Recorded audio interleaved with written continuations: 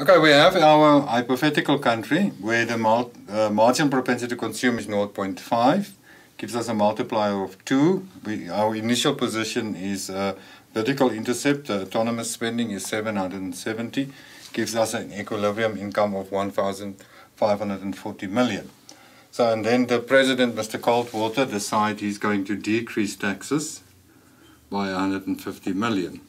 That has the implication that your vertical intercept change by C times the change in taxation is equal to 0.5 times 150 gives you 75. So in terms of our diagram, this upward shift of the demand curve is 75.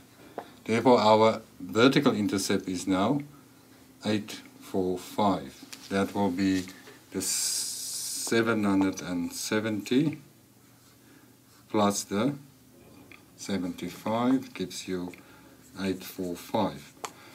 Consequently, our equilibrium income is now 2 times 845 equals 1690.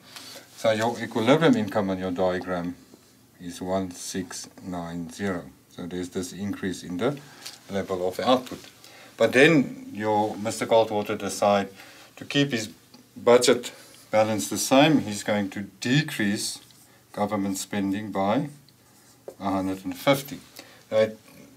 In terms of your diagram, that means your vertical intercept now decreases with a 150. In other words, you are going to end up with a vertical intercept of 695, 695. And your demand curve shifts downwards.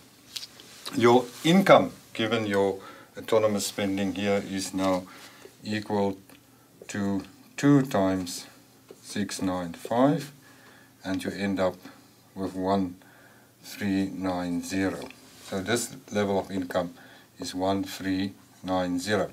And the question then is, compared to your initial equilibrium position, how much did the economy decrease now? And this, in this case, you will see it's exactly 150 million. So the economy is at a new equilibrium position, which is 150 million less than the uh, original or initial position, which indicates again your budget multiplier where the initial change was 150, the decrease.